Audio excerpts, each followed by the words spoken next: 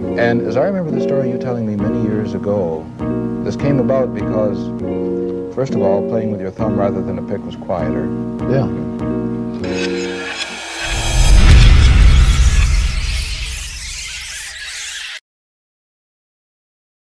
Mr. Al Driver, how the heck are you?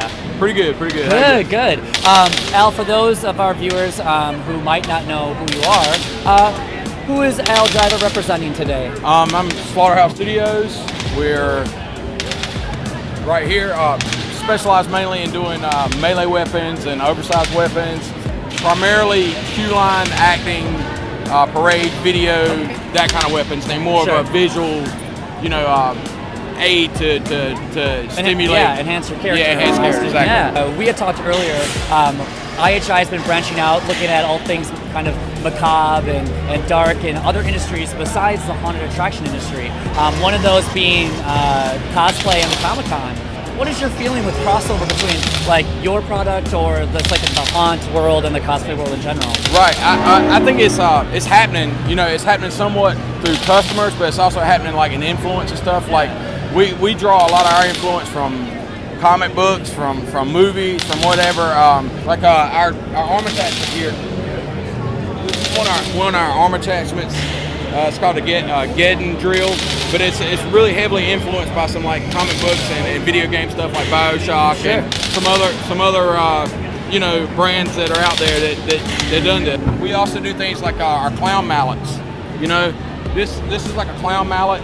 You know, in the horror industry, but it could be very easily turned into like a Harley Quinn. You know, just changing the paint job, and you know, it's it could cross both genres. Right. You know, both genres. Now, uh, we were very fortunate to see um, some demonstrations from cosplayers, and one interesting thing that I thought uh, was just pretty cool is uh, they mentioned that there's no shame in uh, commissioning a piece uh, to enhance your costume. Right, right. I can custom make you a one-off, or not just me, Yeah. whoever. Right. It, it can can can make a, a one-off, like a chess piece with some kind of emblem in the middle or Yeah. whatever. You know, I'm, I'm watching what I say here just Right. to make sure. But um, yeah, that's that's kind of how that Well, works. you and, and you know, cosplayers like to make things their own. They like to take Right. a character that Right. exists and kind of put a spin on it. Exactly. So, I mean, I think that your your props would be amazing additions to anybody's costume. really. Right, we, and, we- keep that in mind. Like um, we know the movie, like the uh, World of Warcraft movies coming out, and we, we're doing stuff like like this piece. It could be like a you know, it's, it looks like we call it an executioner's axe, Yeah. but this this could would look right, you know, perfect in the hands of a orc or a barbarian Yeah, or something. absolutely. Same way with uh, same way with this war club. This is what we actually call a war club. I mean, big gnarly weapon. You know, I can see an orc toting it around. Well, that's pretty awesome. Now, Al, we've been kind of asking a lot of people uh, recently. We usually focus on the who, what, and where of the industry. Right. Um, but uh, today we're kind of focusing a little bit more on the why.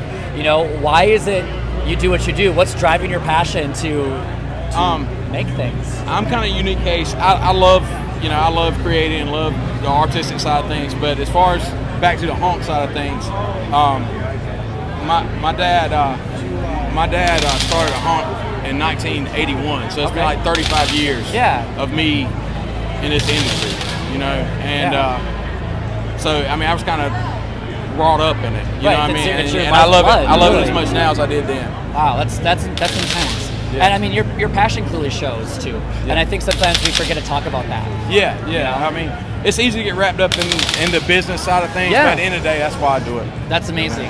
Well, thanks, Al, so much for sharing that with Yeah, us. Uh, for talking a little bit about the the cos cosplay Right. industry and the haunt industry and, and how we can bridge that gap together. We really Right, appreciate it. right. All right. And I'm gonna go grab a club. Like Yeah. Are you filming already?